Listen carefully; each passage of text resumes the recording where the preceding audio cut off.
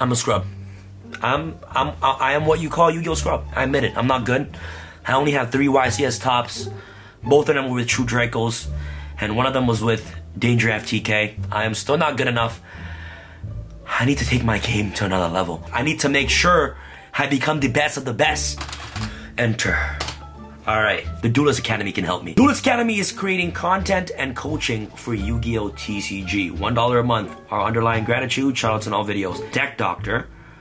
Okay, so this is one where you send them a deck list and they help you make changes. Okay, this one is definitely interesting. Ooh, Slifer Slacker. I ain't no Slifer Slacker. For $30 a month, you will receive all the content posted onto the Patreon and deck profiles. Send us a deck list and we will provide changes and full write-up of why we changed what we did. Ra Yellow student, for $50 a month, you will receive access to two-hour coaching session per month. He'll tell us your schedule and we'll find an available coach to work with. So this one, you'll find me a coach, two-hour session awesome. And it also comes with Deck Doctor. Deck Doctor is the one that I definitely want to work with because I have a deck list. Deck Doctor is the one that I am definitely interested in for sure. So these two includes the Deck Doctor, but Ra Yellow Student, you get a two hour coaching session per month. Now let's go off to the Obelisk Blue Student. I usually like the best of the best. So let's look at the Obelisk Blue Student and what this tier has to offer. So for $75 a month, you will receive access to our $10 content tier, access to our $50 tier with some changes. Okay, so I get this tier plus all the other tiers right here, content deck doctor, with some changes. So I get three hours of coaching. That's huge. Three hours of coaching is huge. This one can definitely benefit me the most. Pick which coach you want to work with. Pick a coach? I gotta pick a coach. So look at this. So who is this? So we got Asala, Bowden, Aaron Furman, Max Reynolds, Raphael Nevin, Nishad, Ryan Levine, and Jesse Kotton. Ooh, I get to pick Jesse Kotton, the best player in the world right now. Ooh, three hours of coaching with Jesse Kotton. Yo, you know what that means? I'll become the best duelist in the world. Holy macaroni! Okay, definitely worth it. This is more personalized experience for people who are fans of specific players. We know how amazing it can be to have your favorite player help you get better, and we're hoping to let you achieve this at the most in-depth level. Jesse can help me at the most in-depth level, 100%. Uh, what is this? Jesse Kotton is currently at capacity for December. He will not be available this month. What the? That's fine. That's fine. That's fine. Then I'll go with my second favorite player here. Oh, Isala right here. Asala Rajnaganda right here. Yep, I'm definitely going with Asala. Oh my goodness. Look at all those tops, bro. Look, second place. I'm gonna pick Asala right here. Look at this guy. Look at this guy. Look, look at his smile right there. He looks like a very energetic coach.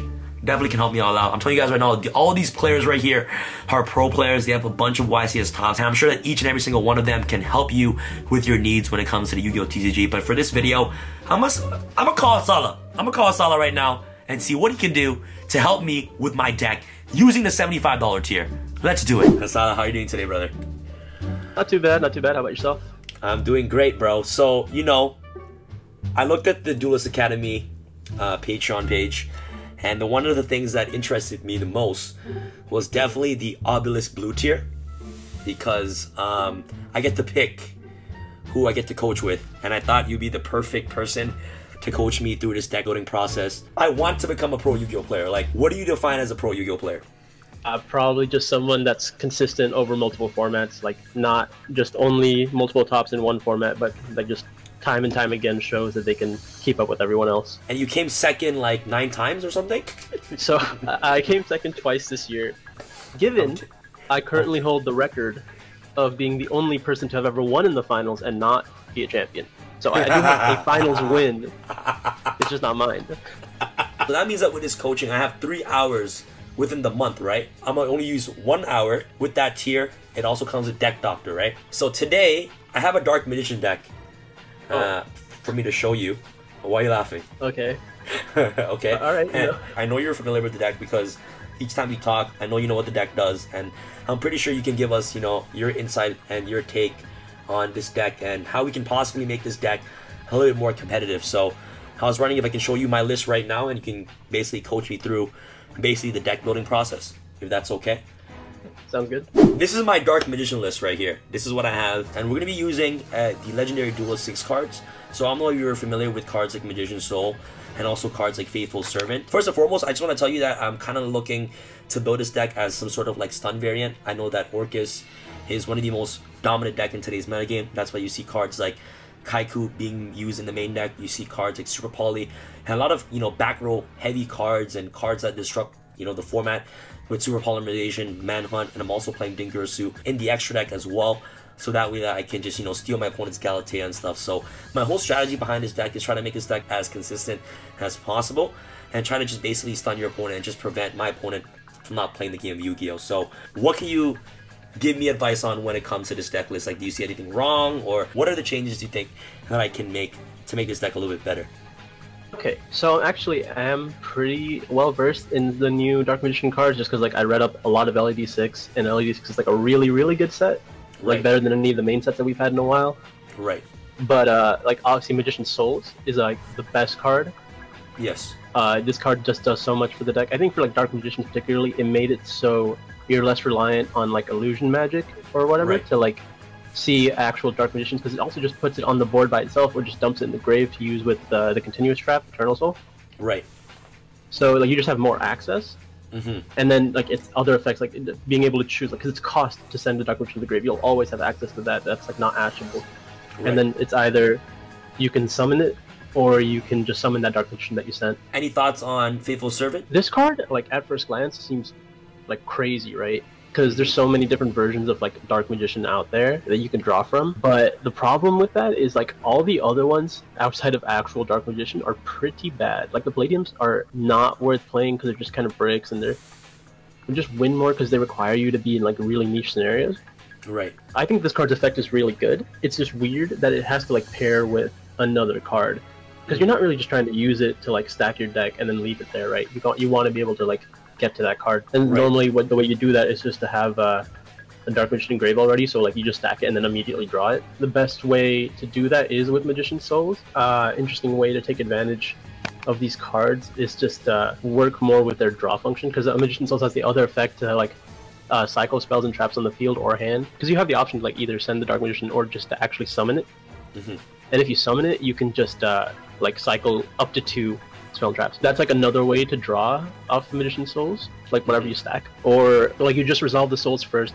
And then stack with the servant, and then you can you choose to just draw whatever you've stacked already because there's already a dark magician in your graveyard, or you can choose to draw first off souls because if there's like just a lot of bulk spell and traps in your hand that you don't need. That's like the problem with extravagance, right? You just can't take advantage of these effects Right. because if you start with extravagance, you just don't get to use them.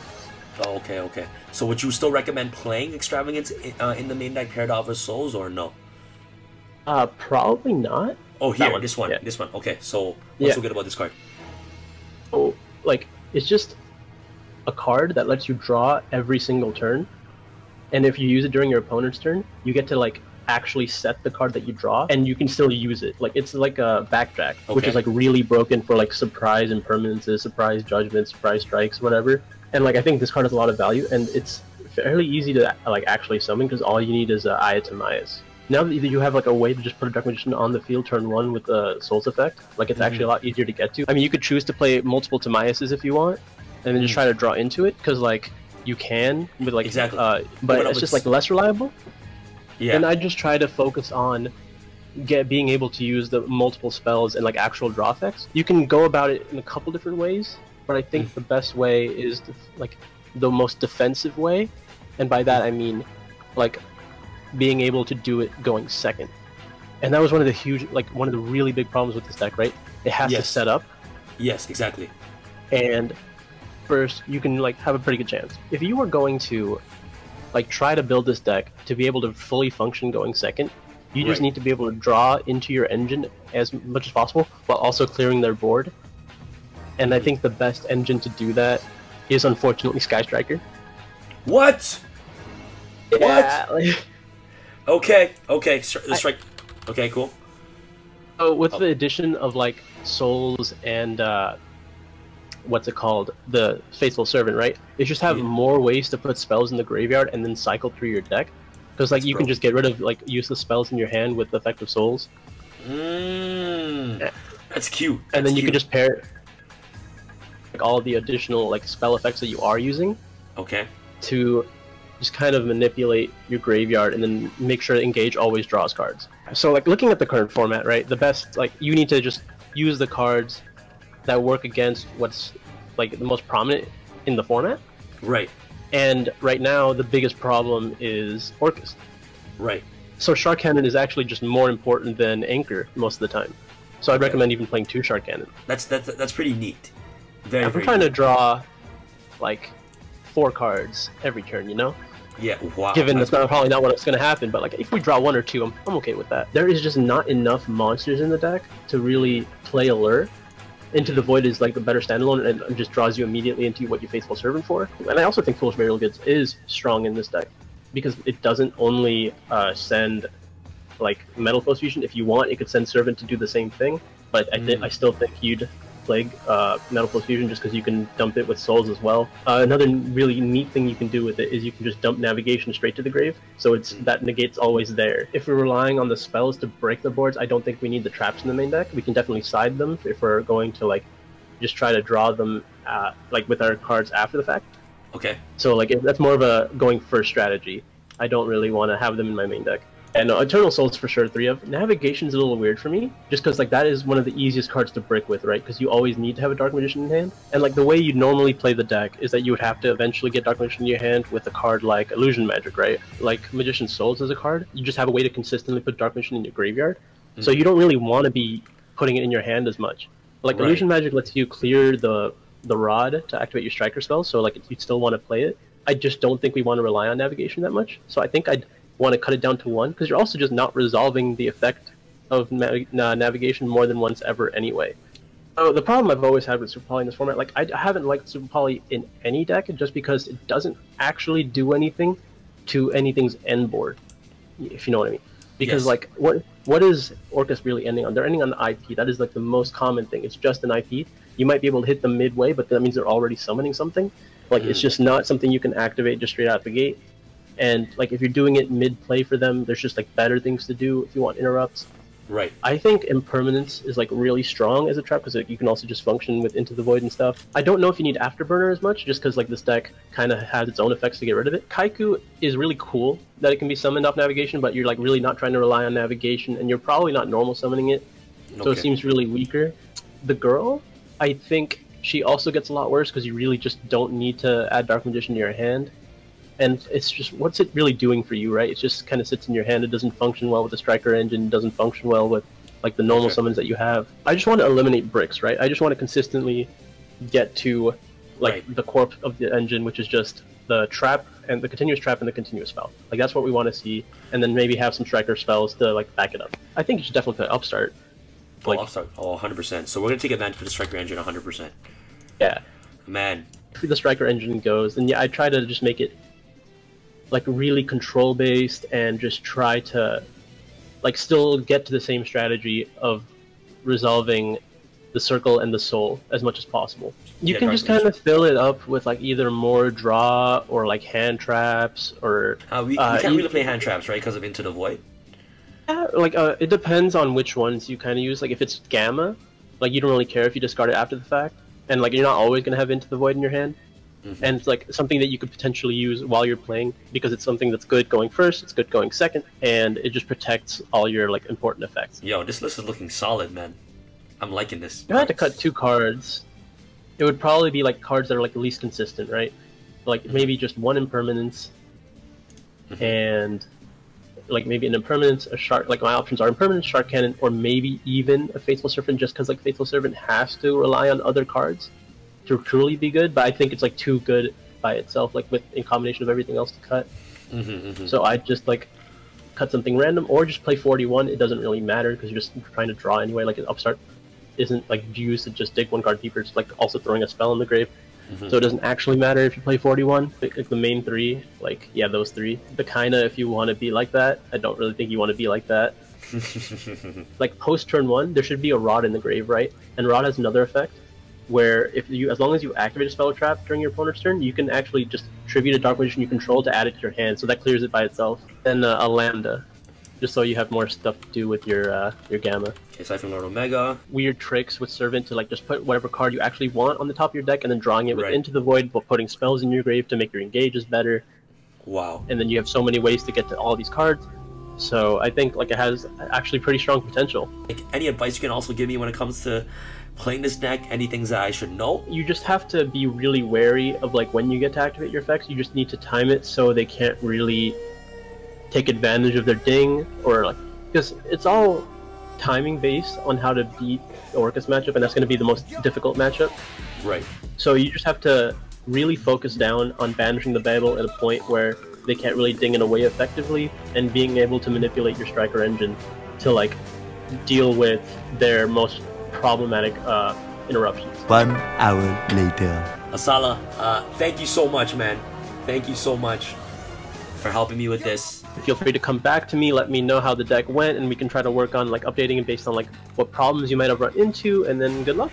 Okay, okay, Asala, thank you so much. I'm definitely gonna take this deck for a run and see how it goes. So we got the coaching done. I decided to use one hour, three hours coaching that I had access to. It's time to duel. It's time to do do do do do do. do. Anyways, it's time to duel. Paper gang, let's get it. All right, paper again, baby. Let's go. All right, there you go. There you go. We're Gucci. Without further ado, let's go first. Let's go.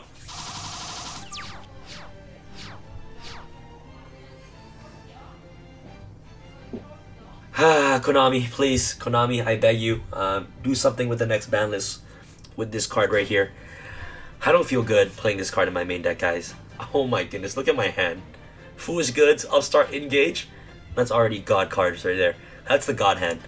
Alright, let's do it. Goods, Goods is gonna dump my Faithful Servant to the graveyard. This card is also like another Upstart Goblin in the deck, which is actually really good. I can go Upstart Goblin.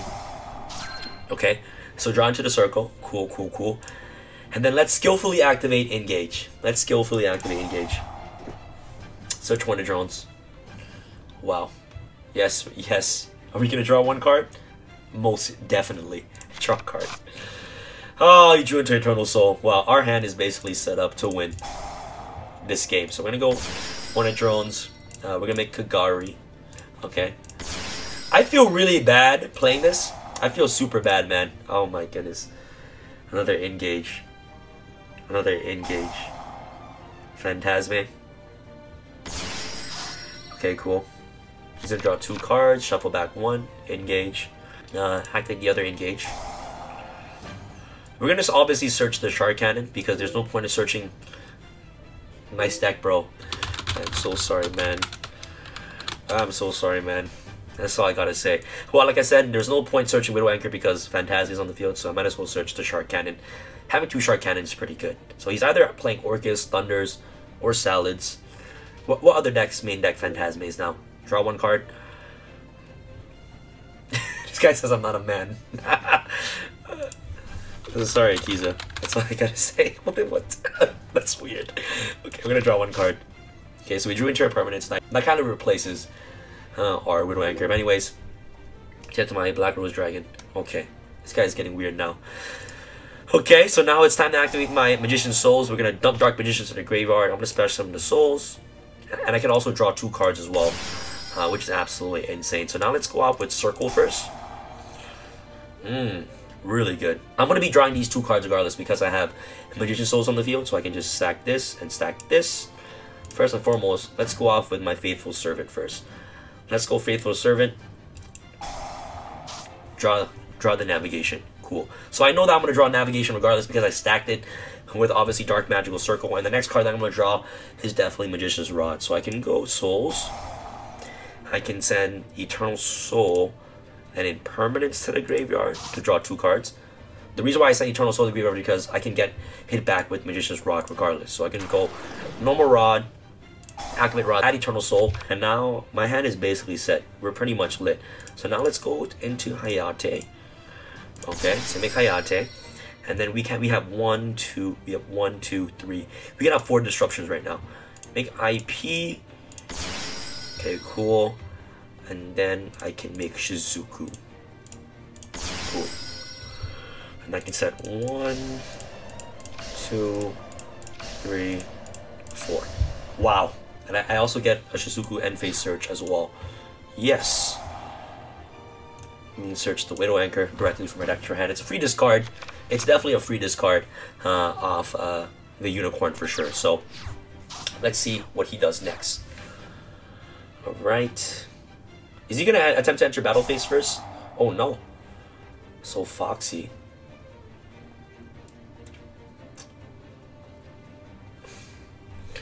I need to be able to use my Shark Cannons. If I can't use my Shark Cannons, Foxy's gonna come out and destroy my circle. And that's a disruption gone. And I can't afford that disruption to be wasted. Um, yeah, I'm gonna chain IP now. Unicorn. Yep. Lady Debug. I might as well shuffle back, discard the anger, target the Phantasme. Negate it? Why? Sure, that's fine. If he if, if he negate, you know. Well, unicorn can't be destroyed by card effects anyway, so the unicorn will still stay on the field. Trigger out Gazelle. Uh, that's fine by me. Yep, that's fine by me. Gazelle is gonna dump. What is he gonna dump to the graveyard? He knows I have the shark cannon in my hand. So dumps Falco. Okay, interesting. Summon debug. Well, this guy this guy literally has everything, everything. That's cool. Adds the Foxy to his hand. Bounce back the Gazelle. Sure.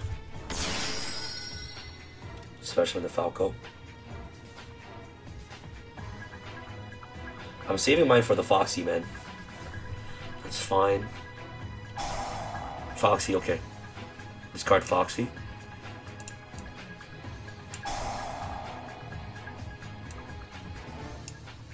Yep. Nope. That's fine. Banish that Foxy. Target this Spinny.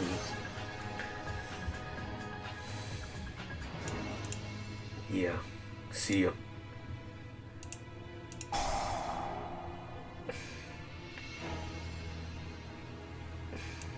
Yep, see ya, Spinny. Yeah, yeah. That's definitely the, the, the correct play, right? That's cool.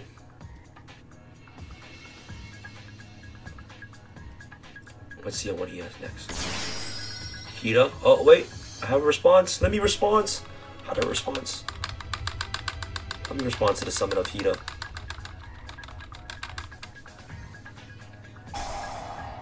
Oh man, I have a response to that Hiita, man. I had that response to that Hiita. You get this. Pretty normal. Somebody has Gazelle in his hand. This, this. Try to use Falco to bounce back Gazelle. I guess I can go navigation. Uh, uh, yeah.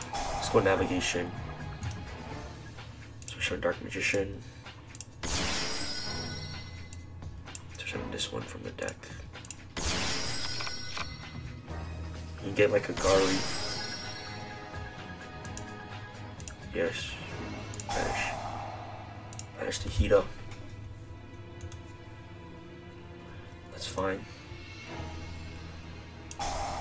Especially on a Dark Magician for my graveyard. Cool. That's fine. Sure.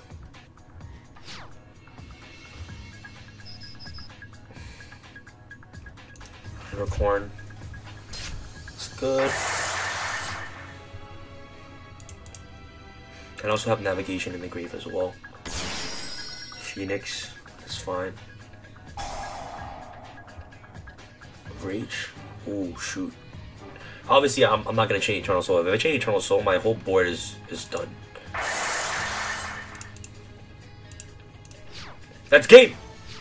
That's game. I have game for sure then. Yeah, this is def this this is definitely game. Okay. Yeah, this this is game. This is game. This is game. Well, he has Gazelle in his hand. It doesn't matter if he has Gazelle in his hand. I have game. Effect. Search Eternal Soul, why not? I can just send this. Nope, Special Dark Magician from the Grave. And then, effect, banish. And that should be game, right? He has Gazelle in his hand and one unknown. And that should be game. Wow. That was good. That was actually really good. That was really good. GG. Let me call it GG Akiza. GG Akiza. Wow. That's sick. That was sick. I actually never thought splashing the Striker engine will in, in, in, in, into this Dark Magician deck. this guy's trolling too much. Alright, man. That was sick. That was good. I actually had fun. Well, obviously, guys, to be honest, as a person that activates Engage, it is kind of fun to activate Engage. I can't even lie, it's kind of fun, but it's probably one of the most. It's bad. It's really bad.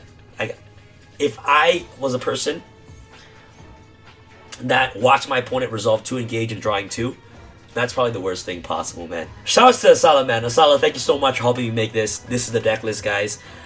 I'm pretty sure with the new upcoming balance, Engage might go to 1, so this list might not be viable. So we definitely gotta take different routes into playing this deck. But this deck right now, at the moment, if you guys definitely want to test this deck on DB or YGO Pro, it is a very fun and explosive deck to just play. Wow. This is sick.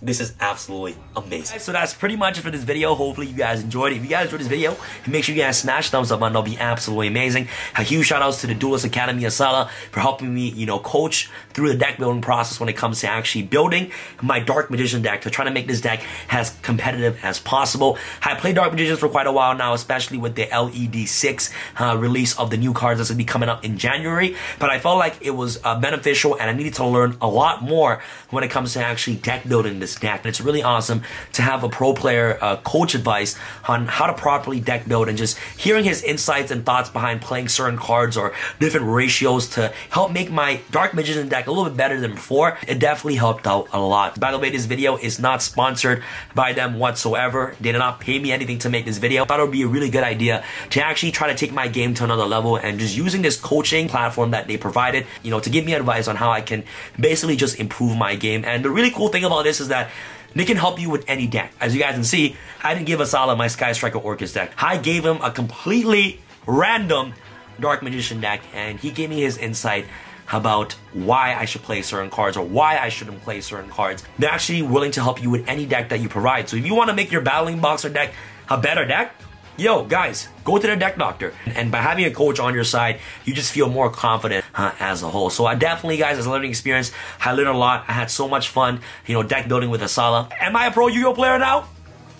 yes, I am. This is how I became a pro Yu-Gi-Oh player in one hour, and this is all because of Asala's help. If you guys want to see more crazy content like this, make sure you guys smash thumbs up button. That'll be absolutely phenomenal. This is your boy Sam from Team Sam Sam signing out. All right, guys. Peace.